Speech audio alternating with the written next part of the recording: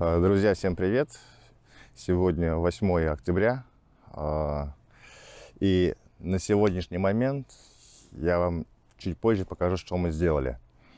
Соответственно, в этом ролике а, что и как мы делаем, я вам не покажу, потому что мы ничего не снимали вообще.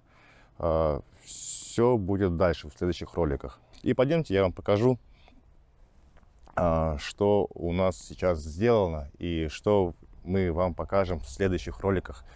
А, Вот, и что мы сейчас будем делать. Вот. Так что так, пойдемте, посмотрим. Желоб, если заметите, есть пайка, есть компенсаторы. А, Вот. Это все покажем. У нас еще здесь паять и выставлять компенсаторы и воронки. Я вам сейчас покажу там. А, Вот. Все это как мы делаем, я вам покажу. Просто здесь а, не было времени снимать, мы гнали, нам этот скат сделали раз, два и там три еще с той стороны. Нам подготовили их все, а вот мы их приняли и быстро-быстро все это делали. Ну как, условно быстро. И время снимать, как мы это делали, монтировали, нет. Ну у нас еще по периметру а, много делать, поэтому мы вам все снимем и покажем. Так, силовая планка, нержавейка, 0,8. Вот. Если посмотреть его сбоку, вот она идет. Вот у нас этот загиб, да, который есть о желобе, вот он. Вот она ниже него на 20 миллиметров. Вот силовая планка. И капельник за нее зацепляется. Вот таким образом сделано все. Что дальше, как здесь будет набираться, пока не скажу. Интрига. Вот. Вот компенсаторы стоят для теплового расширения. То есть, когда желоба будут нагреваться на солнце, они будут расширяться. И чтобы узлы пайки нигде не порвать, ставятся вот такие вот компенсаторы. Здесь вот резиночка у них. Ну, Это я вам все потом расскажу, как они делаются, как мы их паяем. Все это мы покажем, соответственно. Вот. И более подробно. Идем, здесь компенсатор стоит.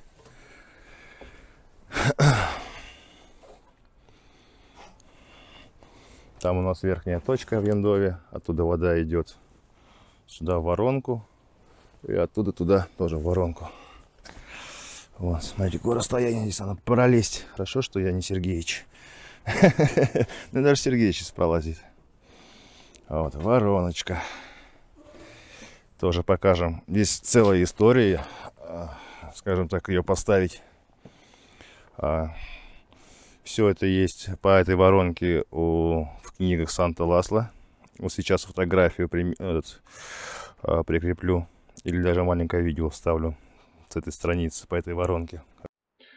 Ну и вот а, большая книга «Кровечка по металлу. а, Отведение воды с кровли, линейное покрытие, конструкции». А, Санта Ласло.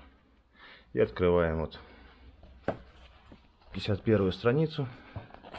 Есть сам даже раскрой самого, самой воронки. Можно сделать такую воронку самому. Ну, а соответственно, вот подсоединение водосточных систем подвесной в эту воронку.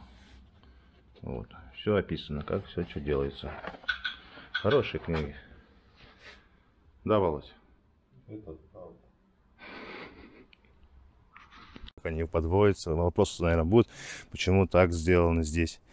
А вот, загибчик специально, чтобы отрыв капли была здесь воронку. Вот такая вот вороночка. Вот она стоит. Вот, ну здесь тенты пока накрыто. Правил лежит, уровень лежит. Вот, сейчас мы, нам сейчас привезут доску, здесь частично здесь поснимают доски с лесов. И нам здесь надо выстраивать леса дополнительные. И так, чтобы они, получается, нависали над э, скатом. Потому что здесь будет, ну скажем, хрен с ним заспойлерую, будет шашка медная. Вот. Соответственно, надо сделать леса такие, чтобы от ската они, ну, примерно сантиметров 40 вот так вот от плоскости проходили, чтобы нам было удобно здесь лазать и монтировать шашку, мембрану, все остальное. Но это мы вам все покажем, заснимем. Вот. Как-то вот так вот, короче. Медь уже стала немножко оксидироваться, уже вот начали потемнения пошли. Вот если он здесь, вот, допустим, блестит, еще как-то более-менее, то здесь уже начинается оксид меди. Ну, становится черным потихонечку. Сначала вишневым, потом черным. А вот. вот такие вот дела. Места прогрева, где мы паяли, они уже быстрее всего чернеют. Вот.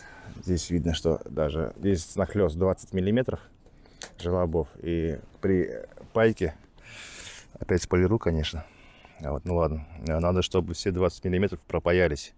Но более подробно потом все расскажу, покажу, а, чтобы вы знали. Мало ли столкнетесь с этим.